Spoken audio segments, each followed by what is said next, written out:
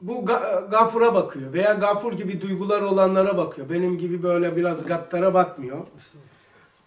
Mağdur olmuş.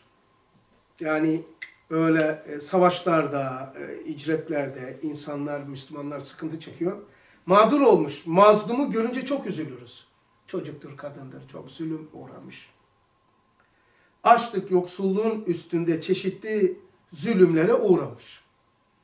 Fakat bunlar zahirdir. Acaba bunun imanı ve itikadı nasıldır deyip etrafımızdaki insanların bu mazlum ve mağdur insanlardan daha kötü ehli bida ve şirk ve kafir insanları görünce niçin acımıyoruz? Ehli bida, şirk, küfür ehli gözümüzün önünde kayıp gidiyor aylar güneşte. Hocadır, hocadır, kardeşim akrabamdır, tanıdığım hocadır yani. Küfre, zalime, imansıza, İslam düşmanına kendince e, bir şeyler bulmuş taraftar.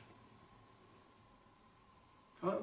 Ve ezeli ve ebedi e, zebanilerin tasallutuna olacak. Ebedi açlık, ebedi zulüm, ebedi işkence, ebedi her şeyi ne geliyorsa aklına. Bir kadına ne yapılması gereken cehennemde yapılacak. Bir erkeğe ne yapılması gerekiyor hepsini yapılacak. Bunlar bunlar insan dehşet almıyor. Aç kalmış, sürmenmiş, çeşitli zulümlere uğramış ve ölmüş vesaire. Yani ama bunu görmüyoruz. Bir zaman var, birisi de sonsuz. Yani en büyük e, sayı sonsuzluğun yanında ne ki? Hiç. Yani